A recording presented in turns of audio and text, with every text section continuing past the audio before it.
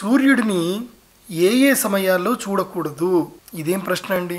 విచిత్రంగా ఉంది. మనం చూస్తున్నదే సూర్యుని వల్ల. అలాంటిది మనం సూర్యుని చూడొద్దు అని అంటే అవును. ప్రత్యేకమైన మూడు సమయాలు ఉంటాయి రోజులో. ఆ సమయంలో సూర్యుణ్ణి ఎట్టి పరిస్థితుల్లో చూడకూడదు. ఇది చాలా విజ్ఞానపరమైనటువంటి రహస్యం.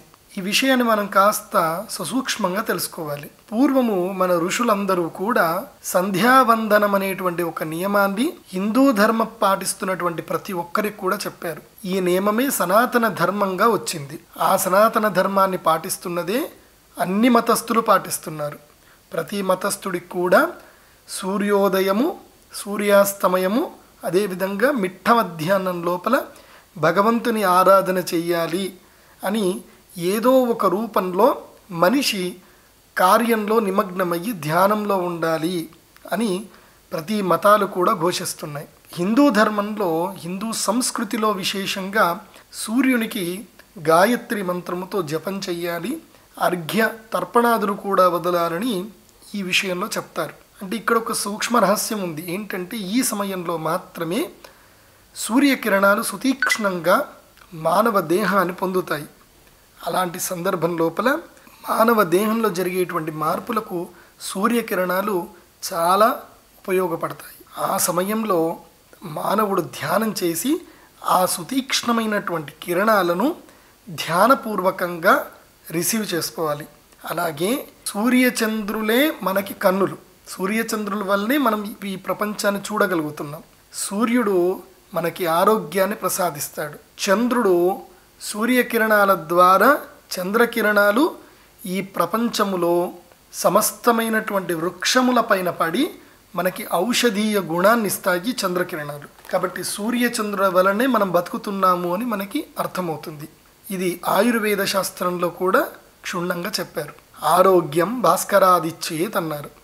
అందుకే తెల్లవారుజామున్నే లేచి సూర్యోదయ సమయానికి అర్ఘ్యాన్ని వదలాలి అని చెప్తారు. అర్ఘ్యం వదిలేటప్పుడు కూడా ఎలా వదులుతారు? లేచి నిలుచొని దోసిట నిండా నీళ్ళు నింపి చక్కగా తలపై నుండి అంటే చేతులు ముందుకు చాచి ముందు భాగం నుండి కింది వరకు నీళ్ళు వదులుతారు. అక్కడ ఏం జరుగుతుంది?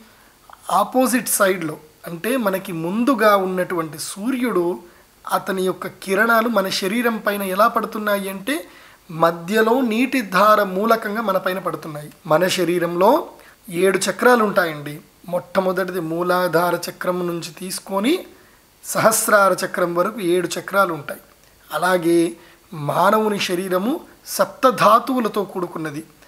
రక్తము రసము మజ్జ మాంసము అస్థి మేధ శుక్ర అనేటువంటి ఏడు పదార్థములతో కూడుకున్నది మానవ శరీరం. మనము ఇంద్రధనస్సు ఎలా చూస్తాము? సూర్యుడి యొక్క కిరణాలు నీటి ద్వారా ప్రసరించినప్పుడు మనకి ఇంద్రధనస్సు కనిపిస్తుంది. అలాగే ఆ ఇంద్రధనస్సు ఎలా కిరణాలు మన కంటికి ఒక సందర్భంలో మాత్రం కనిపిస్తాయో అలాగే సూర్యోదయ సూర్యాస్తమ మధ్య సమయం లోపల సూర్యుని యొక్క సుతీక్ష్ణమైనటువంటి అంటే వన్ ఎయిటీ డిగ్రీస్గా నేరుగా పడేటువంటి కిరణాలు మానవుని శరీరం పైన ఆ నీటి ద్వార మూలకంగా పడాలి. అలా పడడం వల్ల మానవులు ఆరోగ్యాన్ని సంతరించుకుంటారు. కాబట్టి సూర్యునికి సూర్యోదయ సూర్యాస్తమ వేళల్లో చక్కగా కళ్ళు మూసుకొని ధ్యానం చేస్తూ ఓంకార నాదాన్ని చదువుతూ ఆ యొక్క సూర్యకిరణంలో వచ్చేటువంటి తేజస్సును శక్తిని మీరు పొందండి. ఇదే మన ఋషులు మనకి చెప్పినటువంటి అద్భుతమైనటువంటి తత్వం. అది కాకుండా సూర్యగ్రహణము చంద్రగ్రహణము ఈ సమయంలో కూడా నేరుగా కంటితో ఆ కిరణాలను చూడకూడదు. ఆ సమయంలో జపము ధ్యానములు చేస్తే చాలా విశేషమైనటువంటి ఫలితం లభిస్తుంది. పుణ్యము కూడా లభిస్తుంది. కాబట్టి నా వీడియోలన్నీ కూడా మీకు నచ్చుతున్నాయి అనుకుంటున్నాను. చక్కగా మీరు సబ్స్క్రైబ్ చేసి మమ్మల్ని ఎంకరేజ్ చేస్తారని చెప్పి అనుకుంటున్నాము. మీ ప్రదీప్ జోషి శ్రీమాత్రే నమ.